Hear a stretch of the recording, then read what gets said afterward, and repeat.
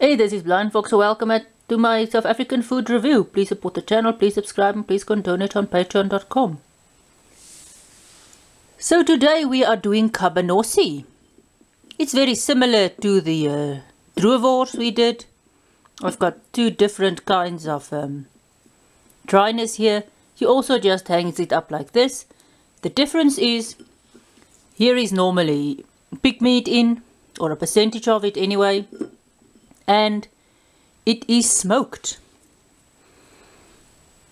This is a bit uh, soft or bit not as dry as the uh, normal Droewors. So this is made, the raw product looks a lot similar than the Droewors like this.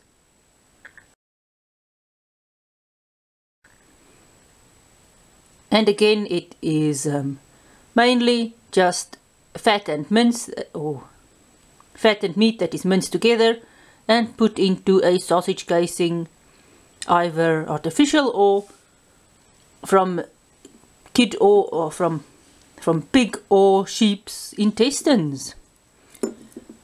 So let's see.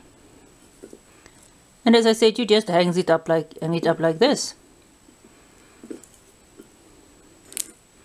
this is not as dry as our that we um, reviewed and you can see the color is different. It's a bit more reddish because it's smoked.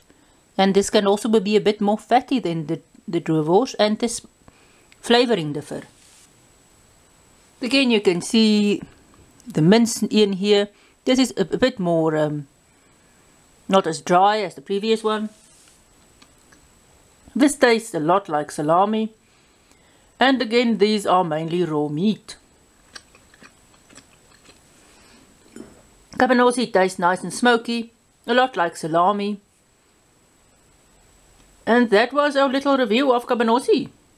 So thanks for watching, please support the channel, please subscribe and please go donate on patreon.com.